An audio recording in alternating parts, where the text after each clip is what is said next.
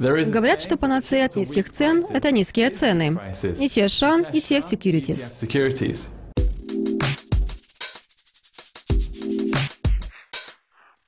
Резервный банк ЮАР сегодня повысил процентную ставку до 7%. Как вы оцениваете сейчас это решение и каково его влияние на сырьевые рынки?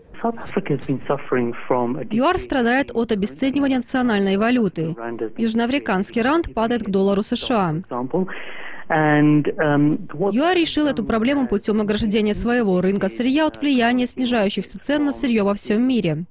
Uh, uh, Таким образом, многие производители сырья не ощутили в полной мере влияние падения цен в 2015 году. Недавнее повышение процентной ставки должно приглушить процесс ослабления южноафриканского ранда. Теперь мировые цены на сырье должны оказать влияние на сырьевой рынок Южной Африки. Это должно помочь сократить объемы поставок некоторых сырьевых продуктов, которые производит Южная Африка. Запасы сырья в ЮАР некоторые аналитики называют благословением небес, поскольку это позволит стране подготовиться к предстоящему буму на рынке. Разделяете ли вы это мнение? И как последнее решение по процентной ставке повлияло на эту идею? Сырье, одним из главных производителей которого является ЮАР, а именно платина, 8% всемирного производства которое приходится на ЮАР, и палладий, за 40% производства которого также ответственно ЮАР, уже много лет в дефиците на рынке. Объемы производства ниже даже уменьшившегося объема потребления. ЮАР не производит достаточно этого сырья, чтобы удовлетворить мировой спрос на него. Негативные моменты в производстве ЮАР возникают ввиду конфликтов на рынке труда и недостаточного энергетического обеспечения страны.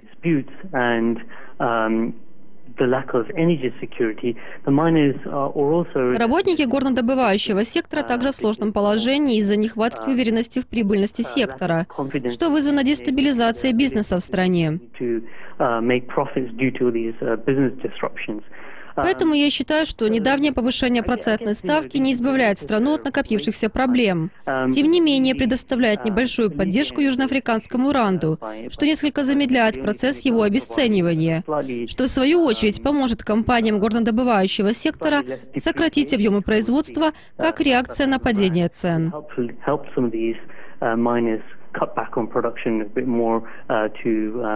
To respond to prices. И напоследок, за какими индикаторами, которые потенциально могут повлиять на сырьевые рынки, стоит следить в краткосрочной перспективе? ЮАР – крупный производитель металлов платиновой группы. Я думаю, что ЮАР на данном этапе больше всего будет интересовать всплеск мирового экономического цикла.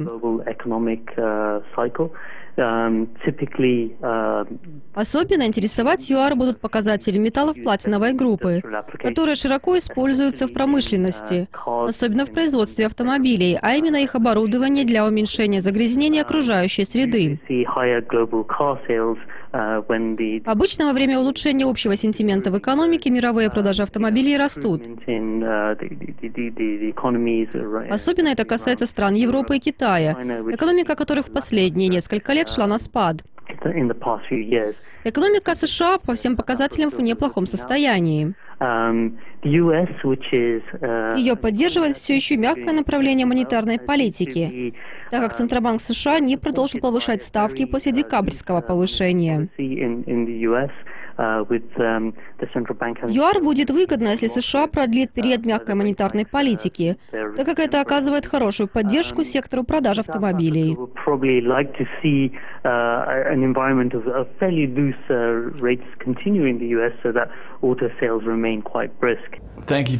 Нитеж, спасибо вам за беседу.